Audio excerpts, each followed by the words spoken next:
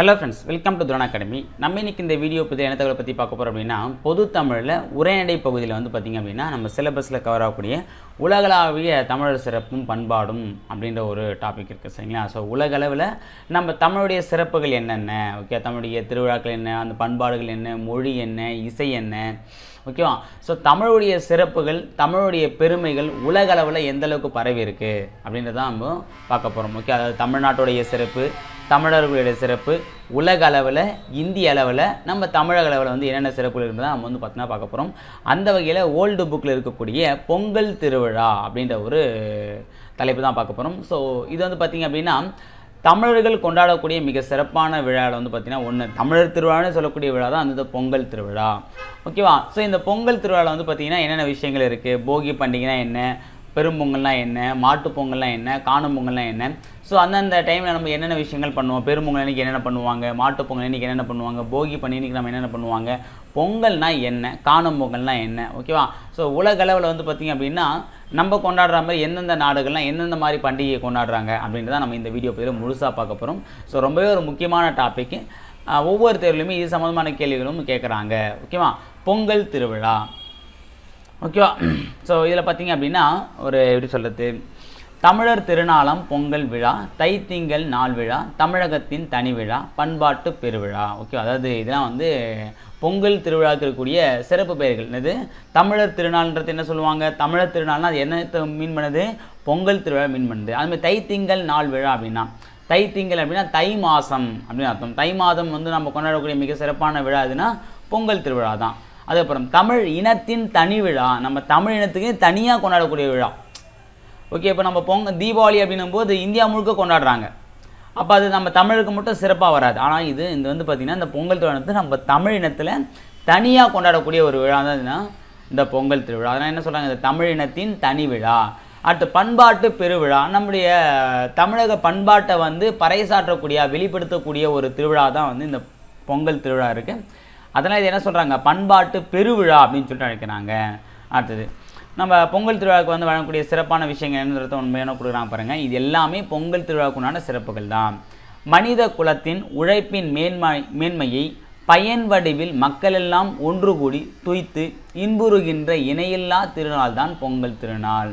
இப்படி கேட்கலாம். இது வந்து எப்படி கேட்பாங்க அப்படின்னா மனித குலத்தின் உழைப்பின் மேன்மையை பயன் வடிவில் மக்கள் எல்லாம் ஒன்று கூடி துய்த்து இன்புறுகின்ற இணையில்லா திருவிழாவாக தமிழர்கள் கொண்டாடக்கூடிய திருவிழா அதுன்னு சொல்லிட்டு கேட்பாங்க.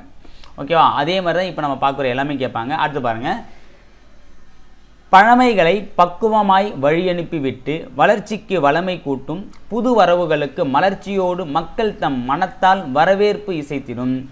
வனத்திருநாள் தான் அதாவது வண்ணத் திருநாள் தான் பொங்கல். ஓகே என்ன சொல்கிறாங்க பழமைகளை. ஓகே பழையன கழிதல்னு சொல்லும் பார்த்தீங்கன்னா அந்த பழமைகளை வந்து பார்த்தீங்கன்னா பக்குவமாக வழி அனுப்பிட்டு வளர்ச்சிக்கு வளமை கூட்டும் புது வரவுகளுக்கு மலர்ச்சியோடு மக்கள் தம் மனத்தால் வரவேற்பு இசைத்திடும் வண்ண திருநாள் தான். ஓகே அதாவது பழையன போக்கிட்டு வளமைக்கு உண்டான புதிய விஷயங்களை வந்து நம்ம வந்து பார்த்தோன்னா நம்ம வளர்ச்சிக்கு தேவையான விஷயங்களை வண்ண அதாவது வரவேற்கக்கூடிய ஒரு வண்ண திருநாள் எதுனா பொங்கல் திருநாள்.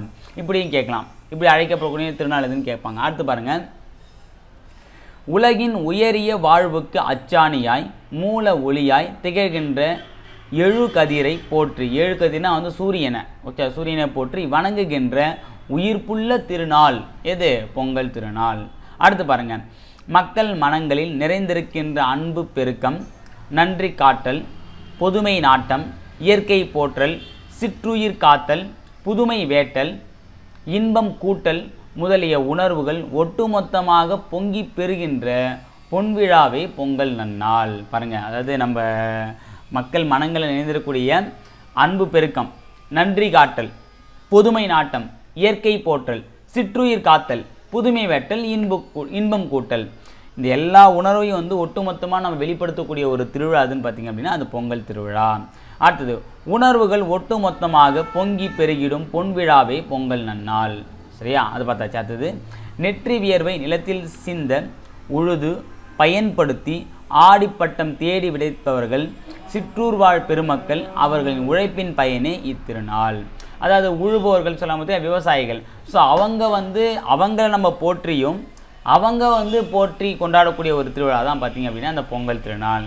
இப்போ நம்ம வந்து உழவர்களை வந்து நம்ம வந்து சிறப்பிக்கும் விதமாக தான் நம்ம என்னென்னா இந்த பொங்கல் பண்டிகை வந்து கொண்டாடுறது குறிப்பிடுறாங்க. அடுத்து பாருங்கள் இப்போ ஒவ்வொரு பொதுவாக பொங்கலை பற்றின விஷயங்கள் கொடுத்துட்டாங்க. இப்போ வந்து ஒவ்வொரு திருநாள் இப்போ நம்ம பொங்கல் பண்டிகை அப்படின்னாலே ஒரு ஒரு நாள் திருவிழா கிடையாது. கிட்டத்தட்ட வந்து ஒரு நான்கு நாட்கள்.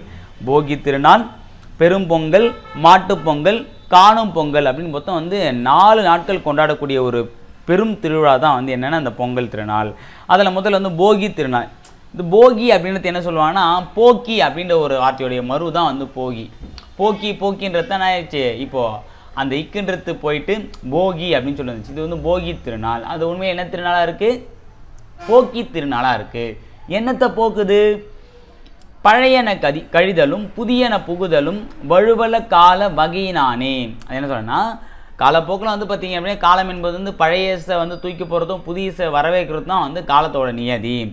அதுக்கேற்ற ஒரு அதை வந்து உலகுக்கு பறைசாற்றும் விதமாக தான் கொண்டாடக்கூடிய நிலை தான் அந்த போகி. என்னும் நன்மொழிக்கு விளக்கமாக போகி திருநாள் திகழ்கிறது. வீடும் நாடும் தூய்மைப்படுகிற சுற்றுப்புறச் சூழலை போக்குகின்ற இனிய திருநாள் தான் போகி. ஆனால் இப்போ பார்த்தீங்க அப்படின்னா அது வந்து என்னது? அந்த சுற்றுச்சூழலுக்கு சீர்கேட்டை விளையக்கூடிய ஒரு பண்டிகையாக வந்து மாறிடுச்சு. ஓகேவா? ஓகே அடுத்து பார்த்தீங்க அப்படின்னா பொங்கல் திருநாள். ரெண்டாவது வரக்கூடிய என்னது? பொங்கல் திருநாள். பெரும்பொங்கல் என்று அழைக்கப்படும் பொங்கல் திருநாள் அன்று பெரியவர்களும் சிறியவர்களும் விடியற் காலையில் எழுந்து நீராடி புத்தாடைகளை அணிவார்கள். ஓகே பெரும்பொங்கல் அன்றைக்கி என்ன பண்ணுவாங்க? சின்னங்கள்லேருந்து பெருசாக எல்லாருமே வந்து அந்த திருநாளை வந்து கொண்டாடுவாங்க. அது பெரும் பொங்கல். அந்த பொங்கல் திருநாள் வந்து என்ன சொல்கிறாங்க போகிக்கு அடுத்த நாள் வந்து பெரும்பொங்கல் திருநாள் அப்படின்னு சொல்லி அழைக்கிறாங்க. ஓகே இதில் வந்து ஒரு முக்கியமான வரிகள் கொடுத்துருக்காங்க பாருங்கள் அன்றைக்கி என்னென்ன பண்ணும் விஷயம் பண்ணுவாங்க அப்படின்னு பார்த்தீங்கன்னா பொங்கல் நெருங்கி அதாவது என்ன சொல்லுறது ஓகே அந்த வேலை. அதாவது இனிய நாயனம் சாரி இனிய நாயகனாம் கதிரவனுக்கு. அங்கே வந்து பார்த்தா அன்னைக்கு நாயகன் யார்? பொங்கல் திருவிழாவில் ஹீரோ யாருன்னா சூரிய பகவான் தான். சூரிய பகவானுக்கு தான் ஃபஸ்ட்டு வந்து படையலிடுவாங்க படையலை படையலை பொங்கலுடன் பொங்கலுடன் பண்ணுறாங்க வெற்றிலை பாக்கு தேங்காய் மற்றும் முக்கணியுடன் இஞ்சியும் மஞ்சளும் கரும்பும் ஞாயிற்று சரி ஞாயிற்றுக்கு ஏற்ற அருகம்புல்லும் ஞாயிற்றுன்னு அது சூரியனுக்கு ஏற்ற அருகம்புல்லும் பூசணியும் முதன்மையான இடம் பெறுகின்றன. ஓகே ஞாயிற்றுக்கேற்ற அருகம்புல் பூசணி. இதான் வந்து முதன்மை இடம் வைக்குது. நான் வச்சு அந்த பூசணியெல்லாம் பார்த்தீங்கன்னா அந்த பூசணிக்காய் குழம்புலாம் வைப்பாங்க பார்த்துருக்கீங்களா? ஸோ அதெல்லாம் வந்து நம்ம அந்த பொங்கல் திருநாளைக்கு கொண்டு வருவாங்க. ஏன்னா அந்த அருகம்புல்லும் பூசணியும் வந்து ஒரு இந்த பொங்கல் படையலில் முதன்மையாக இடம்பெறக்கூடிய ஒரு விஷயமா இருக்குது ஓகே ரொம்ப முக்கியமான ஞாயிற்றுக்கேற்ற அருகம்புல்லும் பூசணியும். அடுத்து பாருங்கள் ஒரு பாடல் வரி கொடுத்துருக்காங்க. பொங்கலை பற்றின ஒரு பாடல் வரி தான் காயுடை நெல்லோ நெல்லோடு கரும்பு அமைத்து கட்டி அரிசி அவல் அமைத்து வாயுடை மறையவர் மந்திரத்தால் ஓகேவா வணங்குகின்றேன் அப்படின்ற மாதிரி இந்த ஒரு பாடல் வந்து முடியுது. ஓகே அதாவது நான் அந்த சூரியனை இந்த கதிரவனை வணங்குகின்றேன் அப்படின்ற மாதிரி முடிக்கிறாங்க. என்று பாடி வணங்கிடும் ஆண்டாளில் மனநிலை கொண்டவர்களாய் ஒவ்வொருவரும் பக்தி செலுத்தி கொண்டிருக்கிறார்கள். ஓகேவா இந்த பாடல் இந்த காயுடை நெல்லோடு கரும்பு அமைத்து கட்டி அரிசி அவள் அமைத்து வாயுடை மறையவர் மந்திரத்தால் அப்படின்ற இந்த பாடல் வரி வந்து யாருடையது அப்படின்னா ஆண்டாருடையது ஓகேவா இது கேட்டிருக்காங்க. ஒருவரும் சரி ஒவ்வொருவரும் பக்தி செலுத்தி கொண்டிருக்கிறார்கள் அதை பார்த்தாச்சு. அனைவரும் கூடி பொங்கலோ பொங்கல் என முழங்கி நெஞ்சில் நன்றியும் நேயமும் பொங்கல் வெளியில் நாயகனை தொழுது வணங்குகின்றனர்.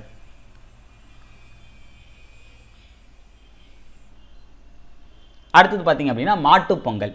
பெரும்பொங்கலுக்கு அடுத்த நாள் சொல்லுவாங்கன்னா மாட்டுப்பொங்கல் சொல்லுவாங்க. பொங்கலுக்கு அடுத்த நாளான மாட்டுப் பொங்கல் உழவுக்கு உறுதுணையான மாடுகளை நன்றியுணர்வோடு மதித்து போட்டிடும் திருநாளாக திகழ்கிறது. ஸோ இது என்ன பண்ணுறாங்க உழுபவர்கள். உழவர்கள் வந்து பார்த்தோன்னா அப்போ என்ன பண்ணுவாங்க? உழுவதற்கு அந்த உ- அறுவடை செய்த பொருட்களை வந்து ஒரு இடத்துல இன்னொரு இடத்துக்கு கொண்டு போகிறதுக்கு எல்லாமே வந்து பார்த்தோன்னா மாடு என்பது வந்து நம்ம தமிழர்களுக்கும் மாடுக்கும் ரொம்ப நெடிய நீண்டகால தொடர்பு இருக்குது சரியா? அதை தான் நம்ம மாடு அப்படின்னா செல்வம்னே சொல்லுவோம். மாடை வந்து செல்வமாக கருதுனாங்க. ஓகே அப்படின்னும் போது அந்த மாட்டுக்கு வந்து பெருமை சேர்க்கும் விதமாக வருஷத்துக்கு ஒரு பொண்டி பண்டிகையை நம்ம கொண்டாடணும்னு சொல்லிட்டு தான் அந்த மாட்டுப் பொங்கலை வந்து கொண்டாடுறாங்க. அதாவது நம்ம மனிதருக்கு தமிழர்களுக்கு உதவி செய்த மாடுகளுக்கு நன்றி உரை நன்றி உணர்வு காட்டக்கூடிய ஒரு நாள் தான் எதுன்னு பார்த்தீங்கன்னா இந்த மாட்டுப்பொங்கல் பாலை பொழிந்து தரும் பாப்பா அந்த பசு மிக நல்லதடி பாப்பா. வயலில் உழுது வரும் மாடு இதை ஆதரிக்க வேணுமடி பாப்பா. அப்படின்னு சொல்லி இந்த பாடல் யார் பாடினது அப்படின்னா பாரதியார் தான். பாப்பான்னு இருந்தாலே பாரதியார்ன்றது நல்லா தெரியும். பாலை பொழிந்து தரும் பாப்பா அந்த பசுமிகு நல்லதடி பாப்பா. இந்த பாடல் யாருடையது? பாரதியாருடையது. பாருங்கள் இந்த மாட்டுப் பொங்கலுக்கு என்ன பண்ணுவாங்க அப்படின்னா இந்நாளில் உழவர்கள் தம் பெருஞ்செல்வமாக கருதும் மாடுகளை குளிப்பாட்டி வண்ண பொடிகளால் அழகுபடுத்தி கழுத்தில் சலங்கைகளை கட்டி கொம்பிலும் நெற்றியிலும் மஞ்சள் பூசி குங்குமம் பொட்டு வைத்து பொங்கலிட்டு வணங்குவர். ஸோ இதான் வந்து மாட்டுப்பொங்கல் மாட்டு பொங்கல் என்ன பண்ணுவாங்க? அவங்க கடவுளாக வணங்கக்கூடிய அந்த மாட்டுக்கு வந்து பார்த்திங்க அப்படின்னா மஞ்சள் குங்குமம்லாம் வச்சு கொம்புலேயும் சரி கொம்புலேயும் வந்து நெத்திலையும் வந்து மஞ்சள் குங்குமம் வச்சுட்டு அப்புறம் வந்து பார்த்திங்க அப்படின்னா வந்து பார்த்திங்க அப்படின்னா அதை மாட்டை வந்து நல்லா கழுவிட்டு வண்ண பொடிகள்லாம் வந்து வச்சு அந்த கழுத்தில் வந்து சலங்கையை கட்டி அப்புறம் வந்து பார்த்திங்கன்னா கொம்புலையும் நெத்திலையும் வந்து குங்குமஞ்சா வச்சு வந்து அந்த பொங்கலிடுவாங்க. அதான் மாட்டு பொங்கல் அப்படின்னு சொல்கிறாங்க பச்சரிசி கோலமிட்டு புதுப்பானை வைத்து பொலிவு பெற அதனை மஞ்சள் இஞ்சியால் அலங்கரித்து செந்நெல் அரிசியும் செங்கரும்பின் சாற்றுடன் கூட்டி கூட்டி படைக்கும் பொங்கலுக்கு இணையான உணவு உண்டோ? இதுக்கு இணையாக என்ன உணவு உண்டோன்னு கேட்டு கேட்குறாங்க சரியா? ஓகே அவ்வளோதான் அடுத்து முக்கியமானது பார்த்தீங்க அப்படின்னா